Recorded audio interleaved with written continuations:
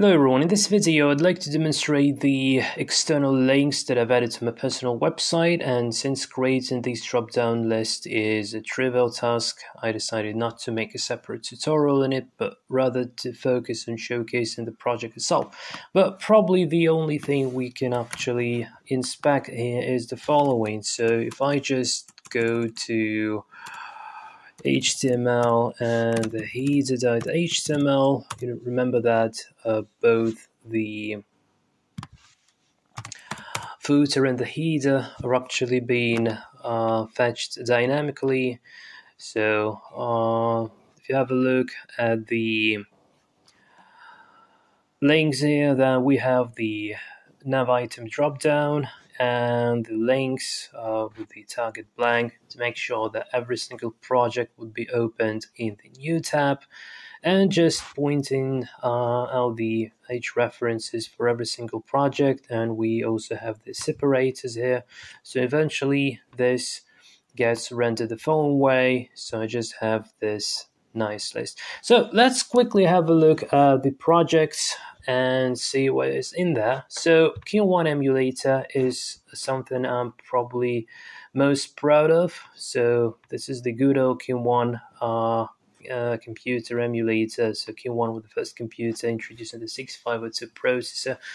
Uh, the CPU, which was brand new back in the day in 70s. So yeah, probably should uh, run some code in here to give an idea how, how cool this thing is. So you can uh, do uh, input the opcode, the 6502 opcodes directly via the keyboard using the addressing mode. So you can go to some uh, address, say address 200, so this four digits is the address. Then you go to data and you can just uh, provide some uh, opcode here, uh, but well, that's long. Well, then you can navigate to the next address and keep inputting the program like this. But I've provided the assembler here, so you can just type the 6502 assembly, then assemble, then upload everything, and you can even use the serial mode here. So probably it would just be better to demonstrate how this actually works. So once I've written um,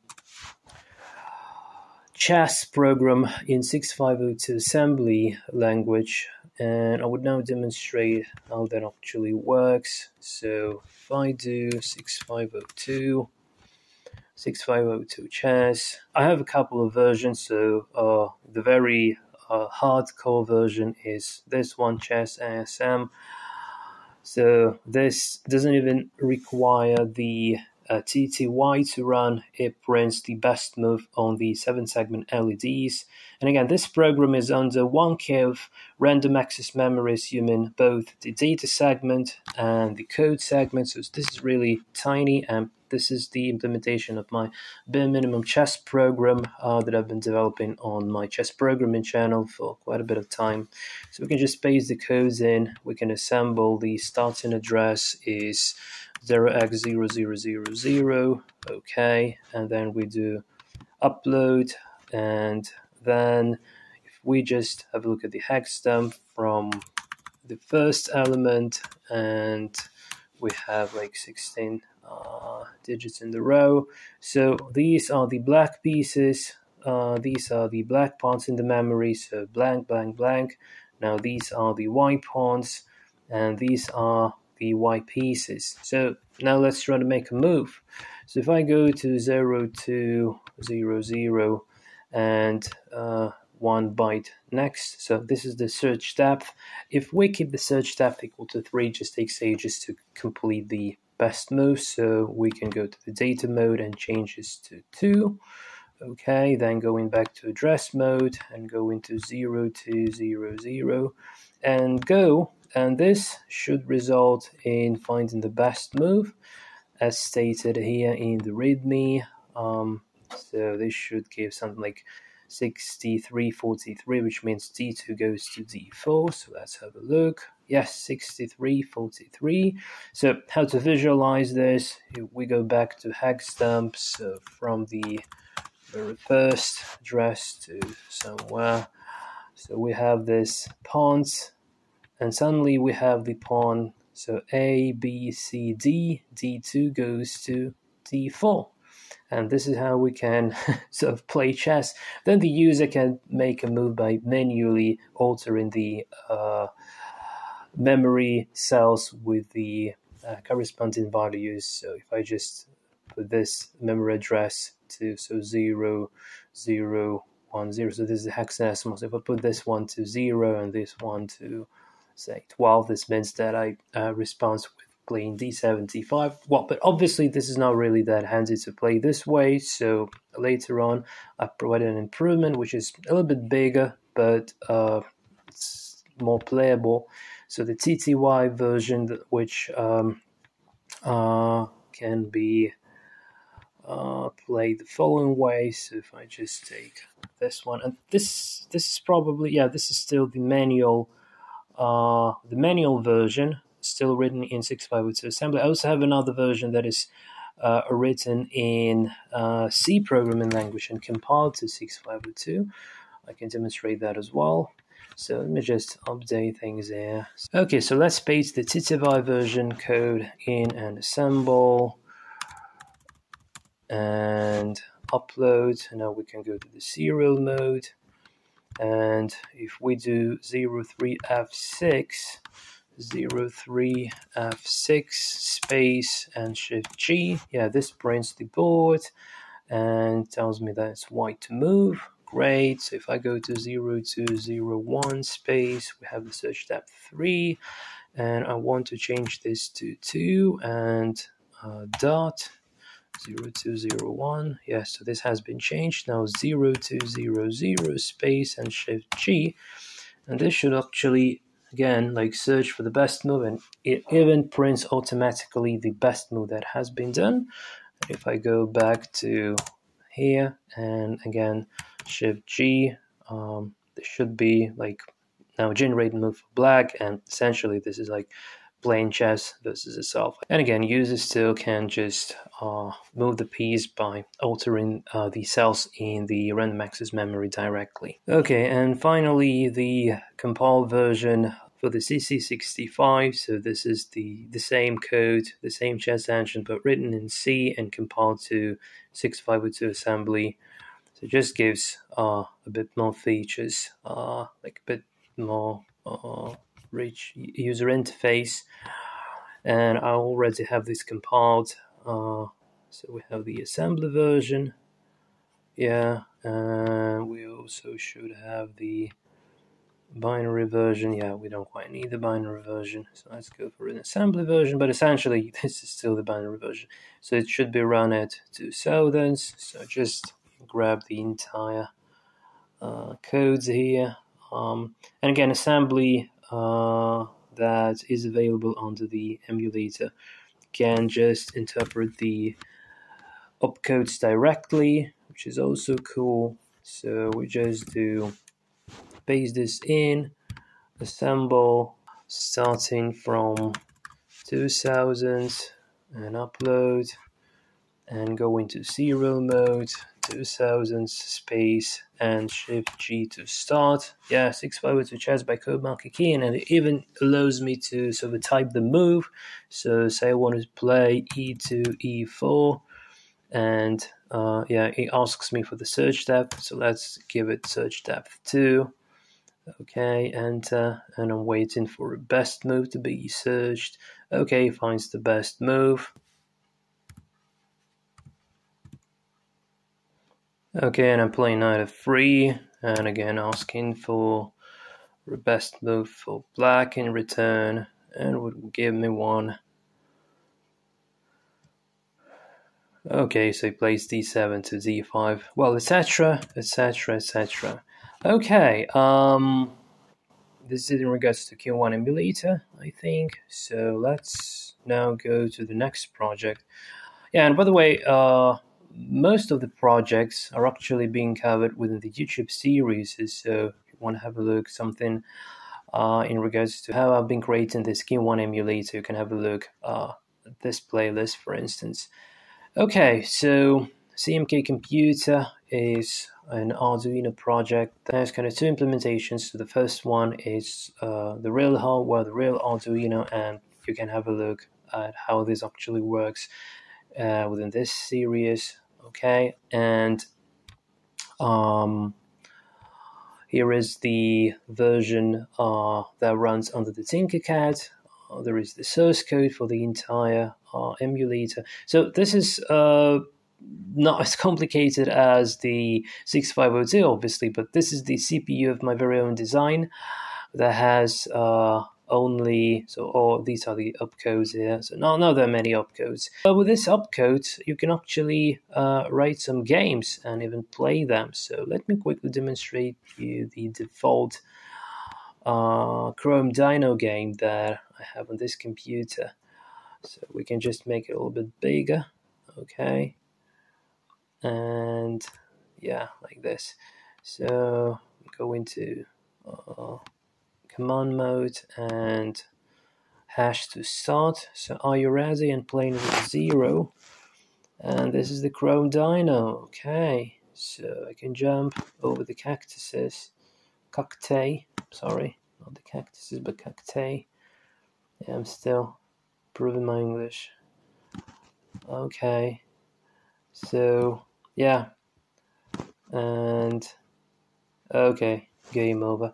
So yeah, this is the computer. Uh, you can write programs for just like for KIM-1, but with a slightly more simple uh, set of opcodes, and I even have the assembler for this uh, opcodes written Python. So I can show you that as well. If we go to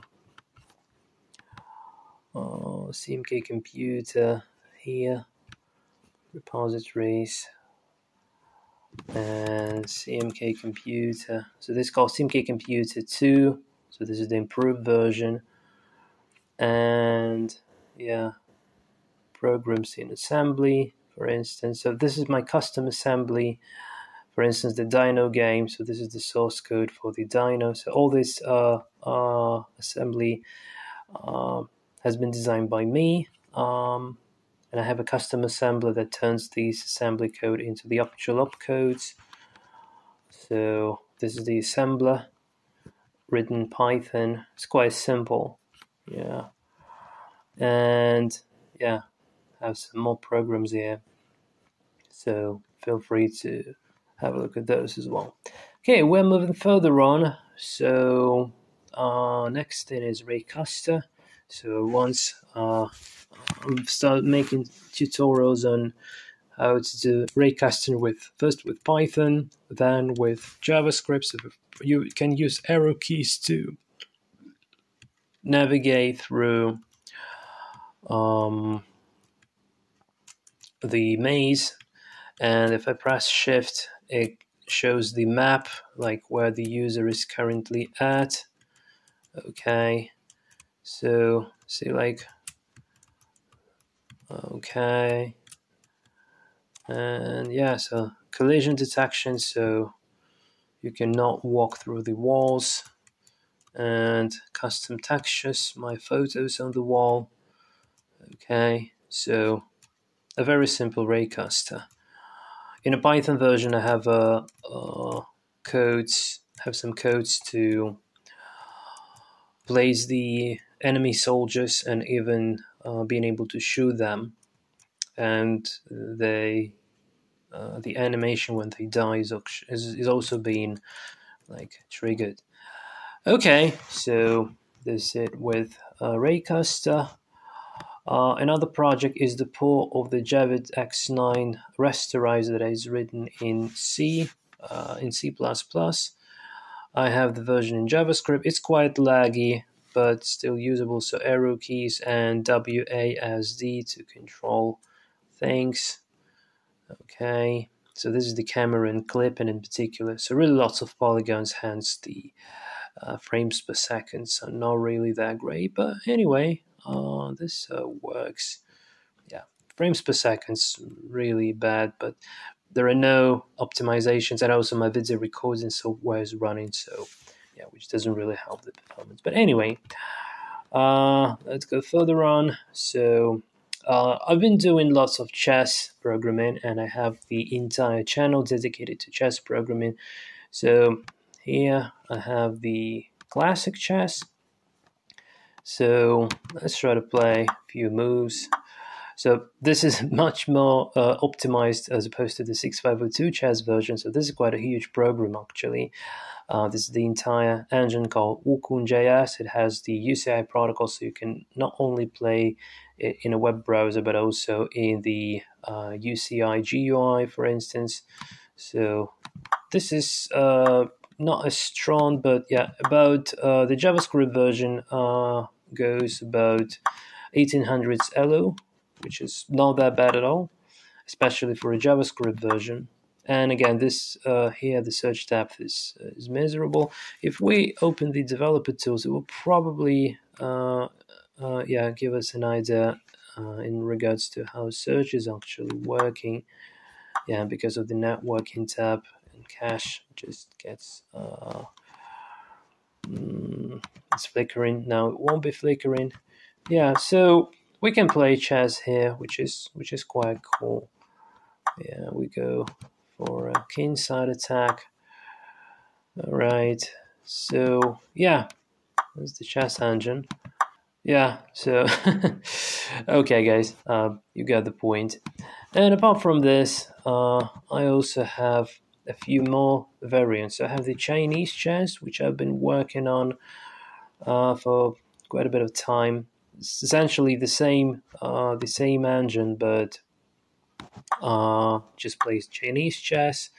Uh, well, I'm not a Chinese chess player, uh, so well, you you have like this hints where the piece is about to move, just to make sure that you can uh, you not miss anything.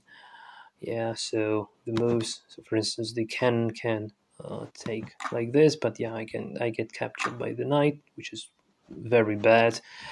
Yeah, we have uh, we we may have uh, the dark theme, the light theme.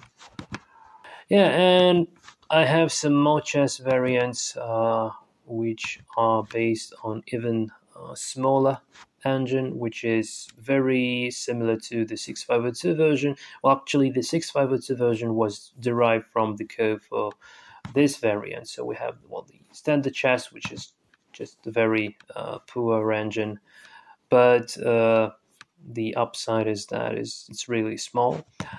And again, we have the Chinese chess variant, we have the Korean chess variant. So, for instance, in Korean chess, you cannot move the cannon unless there is the piece in front of it, like this. So it's very complicated game. I don't know how to play it, but yeah, uh, implemented the rules. Not all of the rules, basically, but so if you have uh, if you want to have some additional information, you can read it here. And finally, the Thai chess Makruk. Yeah, so that's of it. So, you guys, I think this is a good idea to have this nice little external links on the personal website so that the user could uh, try uh, some of the projects that you want him to try and especially bear in mind those projects are also web based. Yeah, um, I think that's uh, just generally a, a, good idea to uh, put everything you've ever done into single place so that the user can easily navigate through your works and uh, get a practical experience of uh, getting familiar with whatever projects you've been up with in the past. So, yeah, thanks for watching and cheers.